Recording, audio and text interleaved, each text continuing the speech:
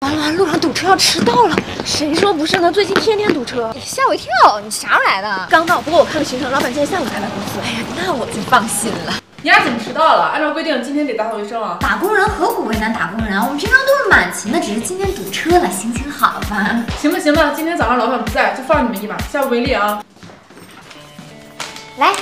这么多麦当劳，你发奖金了？最近不是大家都在赶项目进度吗？我中午吃饭的时候正好路过了麦当劳，想着请大家吃下午茶，舒缓一下压力。现在一杯咖啡都得二三十，七喜你出手真大方。哎，他人呢？刚去卫生间了，先给他留着吧。哇，居然还有草莓新地，我再拿一个。别说这随心配种类确实很丰富，但是老板是不是不让在办公室吃东西啊？别怕，反正他每天快下班才来。我们每天加班都这么累了，不得随心点吗？再说也不是啥大事，就吃点东西。就是就是，这叫与其吃苦耐劳，不如吃麦当劳。终于下班了，开会。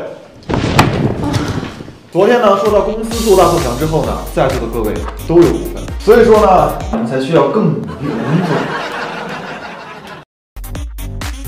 你们都听懂了吧？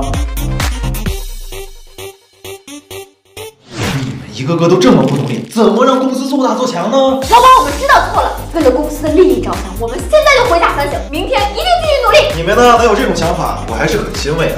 但是呢，回家反省这个东西就不必要了。嗯，人呢？算了算了，他们呢也意识到自己努力了，又是成功培训的一天。